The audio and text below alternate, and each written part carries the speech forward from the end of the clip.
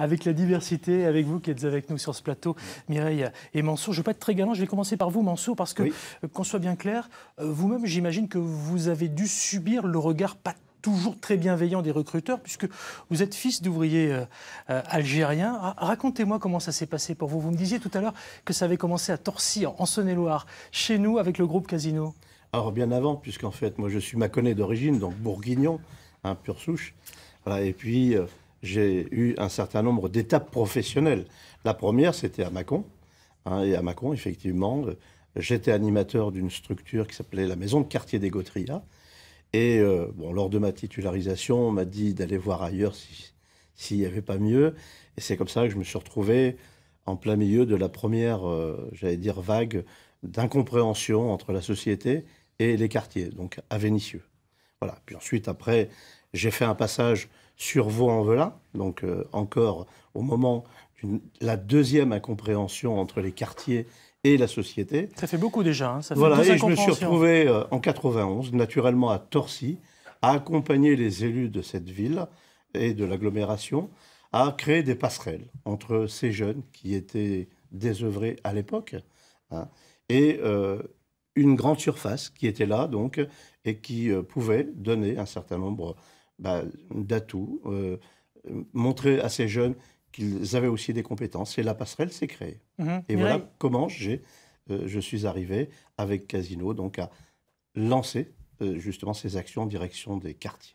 Mireille, qu'est-ce que vous dites à ceux qui, comme Mansour, finalement, ont pu subir ce que Mansour appelle des, incompréhensions? Il y en a qui nous regardent ce matin, peut-être des parents, des grands-parents, euh, des enfants, tout simplement, qui peuvent aujourd'hui ne, ne, pas comprendre, finalement, parce que tout le monde ne s'en sortira pas comme vous, Mansour, on va être clair. Qu'est-ce que vous leur dites, Mireille?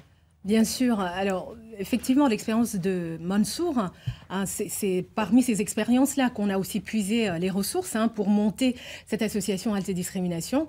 Et j'ai envie de dire à ceux qui nous écoutent, euh, déjà de nous contacter, mais aussi euh, de leur dire que nous mettons en place des actions pour permettre simplement de faciliter cet accès à l'entreprise, parce que la plupart du temps, nous rencontrons des personnes qui nous disent envoyer des centaines et des centaines de CV sans jamais avoir l'opportunité de rencontrer les recruteurs, de rencontrer euh, les, entreprises qui proposent les, postes, les décideurs. Mhm. Et nous, justement, notre travail au quotidien, c'est d'essayer donc d'abolir ces freins. Nous organisons pour ça des job dating on aura l'occasion d'en parler. Oui, mais on va en parler tout de suite parce qu'on est dans le pratico-pratique. Hein. Moi, j'ai noté deux informations importantes que mhm. j'aimerais avoir euh, de, votre part. La première, c'est le contact. Qu'est-ce que je fais? Je vais sur Internet, je tape par exemple mhm. Halte discrimination ou quinzaine de la diversité euh, sur tous les bons moteurs de recherche? Bien sûr, bien sûr, en tapant tout simplement www alt h a l t euh, discrimination au singulier .org ou alors quinzaine diversité.org on accède effectivement euh, hein, au contact de notre association. Sur toutes les pages, on retrouve vraiment le contact, on peut nous appeler. Mireille Péquignot, il y a le contact, il y a mhm. aussi euh, les actions. Pour vous, c'est quoi euh, les actions Avant que je ne demande ce, qu'on fait du côté des groupes Casino, mais pour vous, avec Alte Discrimination et la caserne mhm. de la diversité, dans les actions, c'est quoi concrètement? Alors les actions, nous en avons plusieurs. Alors des actions que nous menons en avec plusieurs partenaires, donc tout au long de la quinzaine, mais aussi nous-mêmes, nous portons un certain nombre d'actions. La première première, c'est l'inauguration donc de la quinzaine de la diversité qui aura lieu le 19 novembre ici même à Dijon, euh, à BSB, Bourgogne Oui, alors ça, ça ne parle pas forcément à ceux qui sont avec nous.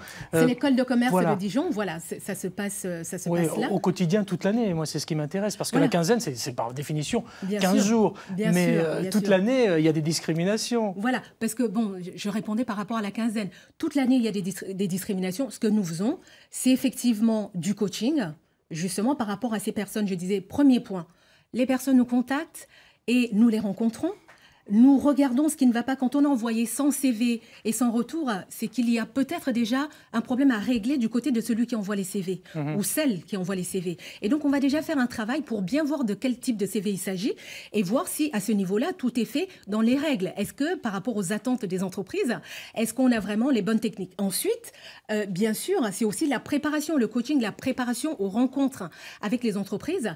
Et donc, toute l'année, nous organisons des sessions de recrutement où nous mettons en relation les demandeurs et euh, les employeurs. Mansour Zeberi, vous faites des actions euh, concrètes. Le, groupe Casino euh, s'engage dans la diversité.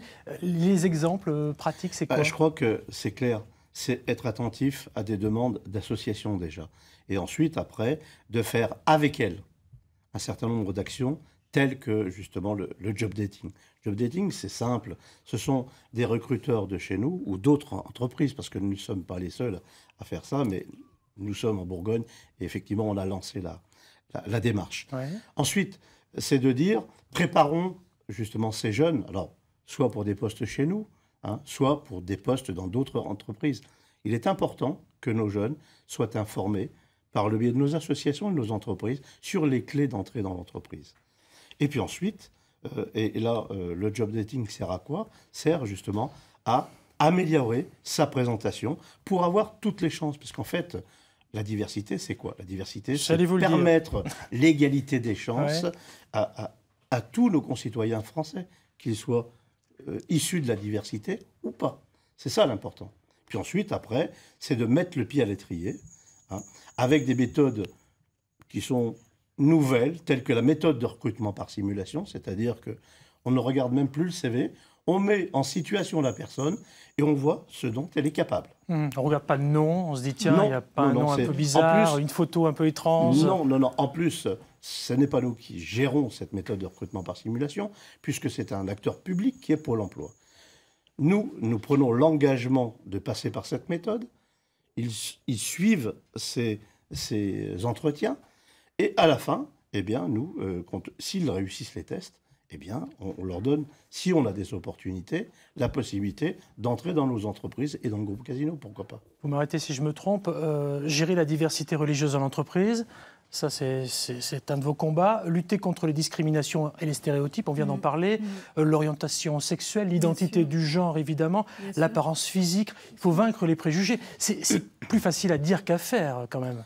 Je pense que, bah, juste ce qu'il faut savoir, c'est qu'il y a une loi en France depuis 2001, euh, hein, qui découle d'une directive européenne, qui justement euh, fait euh, de la discrimination une lutte au quotidien. Il y a 25 critères aujourd'hui prohibés par la loi. Oui, j'en ai cité que quelques-uns. Vous en avez cité mhm. quelques-uns. J'aurais pu dire les jeunes, les gays, les hommes, les femmes, il les obèses. Enfin, voilà, il faut combattre toutes les discriminations, telles que vous avez pris les obèses. On aurait pu prendre les personnes atteintes d'un handicap.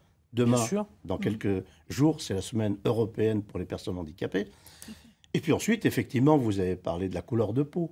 Hein. et, là, c'est important justement de faire un travail pédagogique mhm. en direction des jeunes, certes, en direction des associations mhm. et aussi en direction des recruteurs. Tout ça pour le bien vivre ensemble. Alors là, c'est un exemple en entreprise. Hein.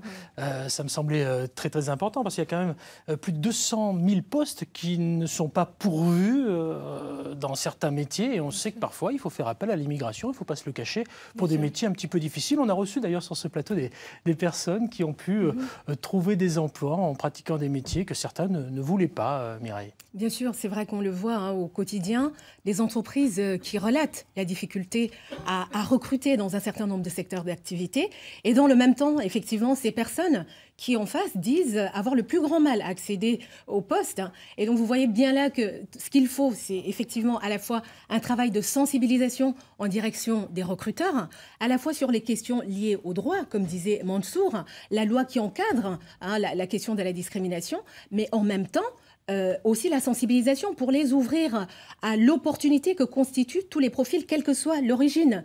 Mais j'aime bien rappeler quand même que la diversité, vous l'avez dit, hein, Mansour l'a dit, 25 critères, c'est vraiment finalement nous tous. La diversité, c'est vraiment la gestion de la différence. Et c'est souvent la peur qui fait qu'on a du mal à se rencontrer. C'est les appréhensions, les préjugés, les, stéréotypes qui euh, maintiennent ces discriminations.